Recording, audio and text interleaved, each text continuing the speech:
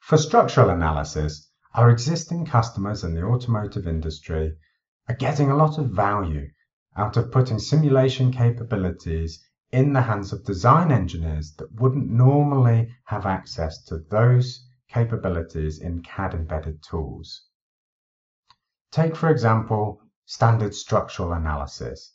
In SimScale, you can evaluate the peak stresses and performance of components. But you can take this a step further. You can include nonlinear materials, and you can also look at thermal performance and thermomechanical analysis. So you can do more advanced stress analysis capabilities than you would normally be able to do with a CAD embedded tool. This allows the design engineers to iterate much quicker at an early stage in the design without having to rely on the simulation team for these advanced simulation capabilities.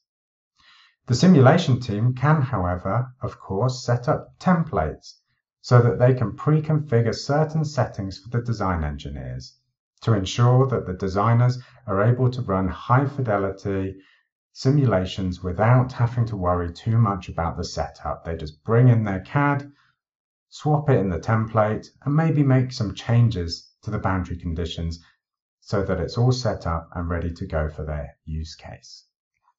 For example, with assembly items like one-time snap fit and connection of components, you can do nonlinear stress analysis.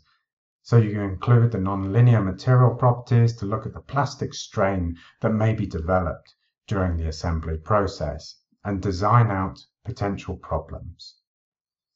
With use cases such as EV battery modules, design engineers can look at the vibration and frequency analysis of the assembly to make sure that they're not designing in any unwanted harmonic frequencies. This can include base excitation and also transient dynamic responses to shock loads. With e-motors and powertrain, for example, we're seeing a lot of benefit by enabling designers to run frequency and harmonic analysis again so that they can design out certain frequencies that may be an issue. This also includes rotor dynamic frequency analysis. And with nonlinear material properties, we're able to simulate the assembly of a rotor, which includes something like press fit that may be required to hold the ferromagnetic core onto the shaft. And obviously, all of this can be templated, so it's very easy to set up and run. Let's have a look at a couple of examples. So here we can see an automotive control arm assembly with an anti-roll bar. And for this, we may want to analyze how this actually performs in a shock load scenario. So the type of situation where the vehicle is mounting a curb and we're going to get very high stresses evolved through that anti-roll bar assembly. So we can look at shock cases, but we can also look at the natural frequency of the assembly as well. So we can have a look at how this would perform and see what the mode shapes are and potentially design out unwanted frequencies.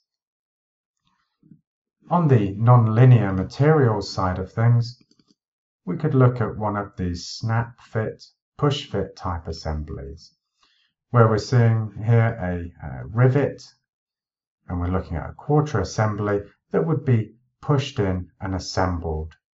We can obviously look at the plastic stresses that are involved and make sure that we're not going to have too many failures of these components during assembly.